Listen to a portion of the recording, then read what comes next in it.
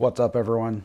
Well, today I'm going to do what you guys asked for and that is to actually repot this uh, and I'm going to put it in this Anderson flat.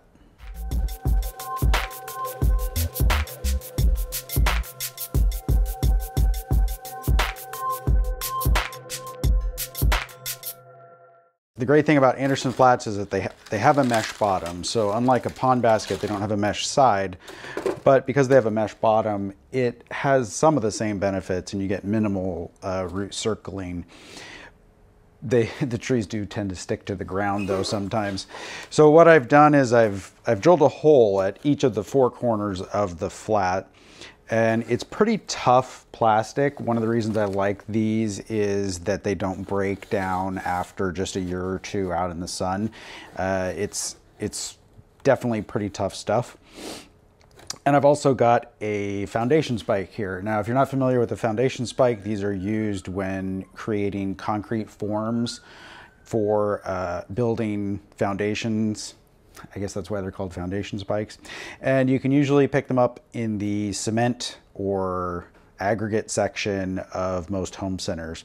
The great thing about them is that they're, they're it's like a 3 8 inch thick piece of steel, uh, kind of like rebar, but it has holes drilled in it at 90 degree angles along the, the most of the length, and those are so that you can put a screw through there into the forms.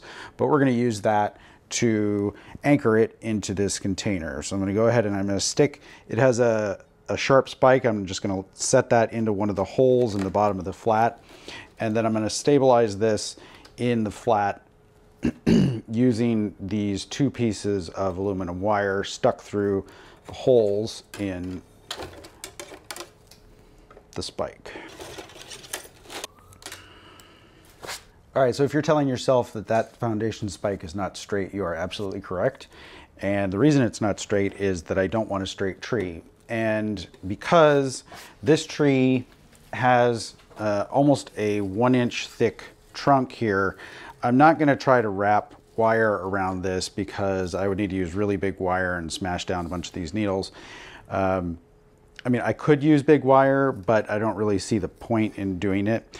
So what I'm gonna do instead is I'm gonna use this uh, foundation spike as my bending mechanism, uh, just like you would do maybe if you were doing heavy bends on an older tree.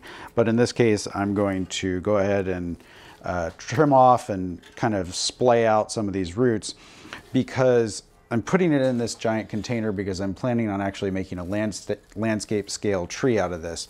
So the, the small turn that's here at the bottom is something that I could use if I cut off all of this and started regrowing this. But in this case, I've been meaning to start some landscape style trees and that means that this is a good opportunity.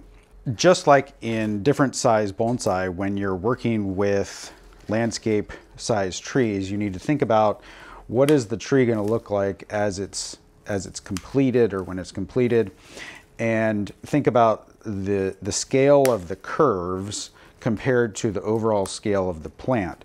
So if I were to just put a bunch of I mean, I can't do it now, but if I had a tree and I had a bunch of wiggles down in here and I was like, that would make a fantastic bonsai, but it wouldn't make a very good landscape style tree because all of those wiggles are just gonna be in the bottom foot of a tree that might end up being six or nine feet tall. So with a large tree like this, uh, the primary thing that I'm concerned about is just getting the Nebari started. Landscape trees, uh, the Nebari is not quite as important as it might be in a bonsai, but it's still something that you want to be able to showcase in a high quality composition. And I'm going to go ahead and comb out all of the roots on the tree.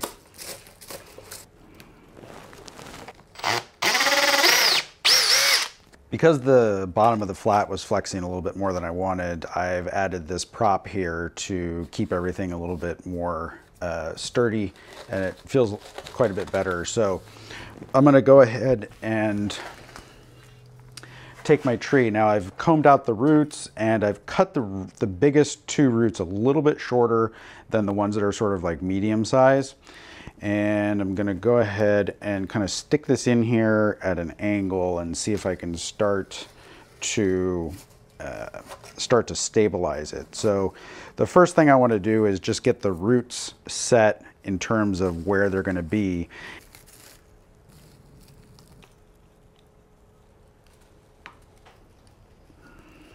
All right, a little bit of an engineering project here. So I've got uh, raffia tied around the base here in two places to stabilize that. And then I put a block in here that has notches on it so that it won't slip as easily.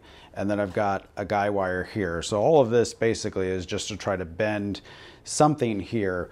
But at the same time, I also want to count on one of these uh, side branches most likely coming down to begin the, the landscape style thing, landscape style uh, form. And I expect that this center shoot will actually get stronger than these two, but I don't know that for sure. So I'm just gonna leave everything as it is once I finish bending it. So if this were a bonsai, that would be completely inadequate. But I think for a landscape style tree that I'm planning on making, say five, six, eight feet tall, uh, it's gonna be perfectly fine. So now onto a little bit of arranging of the roots. Uh, I've got the flat half filled up with my perlite mixture here. And I'm just gonna take these kind of medium sized roots that are uh, kind of all going down because of the shape of the container that it was growing in and kind of splay them out a little bit. There's not that many of them, but this will help kind of start a Nebari.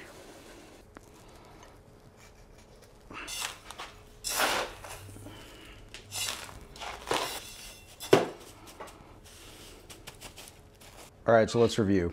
I have taken it and kind of cut off the bottom third of those roots that I had in the Anderson band. I've secured it to this foundation spike just to give myself kind of like a leverage for bending it because I don't want it to be completely straight. I'm making this into a landscape sized tree, so I'm not too concerned about the, the small bends or whatnot. We can have some straight sections because it's a larger composition and there's room for that and it will most likely be like an informal upright landscape tree. I've added a, a, a, wedge here between the bar and the trunk to give it a little bit of a curve and then pulled the trunk back to the bar. Uh, and I've got the bar secured to the flat as well as propped up so that the flat itself doesn't bend as much and I've refilled it here with my mixture of perlite and coco coir and I'm going to set this back out in the field to grow for another year and see how it does. I would expect that it will actually slow down because the, the roots that I cut back were in the ground and it probably will take some time to get reestablished because there's not a lot of fine feeder roots there. Uh, and But once it gets established, I would imagine that uh, it'll take off again. And at that point, I'll come back and revisit the design in the context of something that is going to be a landscape sized tree. If you have experience starting landscape size bonsai or niwaki, as the proper term in Japanese is, Share it in the comments below, and thanks for watching. We'll see you guys next time.